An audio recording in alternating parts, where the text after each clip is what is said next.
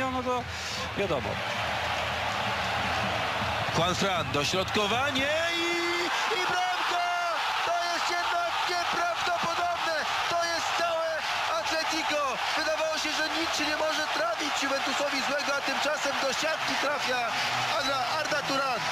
Tak, kiedy może i piłkarze Juventusu pomyśleli, mamy ich na widelcu, teraz musimy przez ten ostatni kwadrans po prostu podnieść do ust i skonsumować. Wtedy właśnie Atletico z tego widelca zeskoczyło, no i zobaczmy, ugryzło, ugryzło.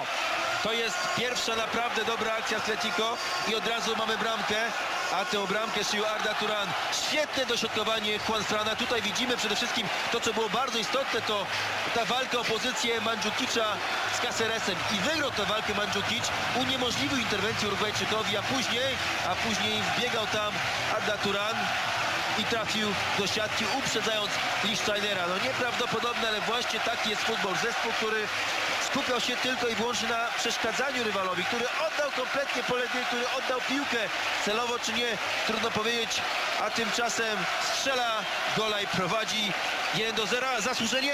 Na pewno nie, patrząc na to, co oglądaliśmy wcześniej, ale, ale zasłużone jest to, co, co jest w siatce. Jakżeż ta akcja do bólu przypominała akcję, po której drugiego gola strzelili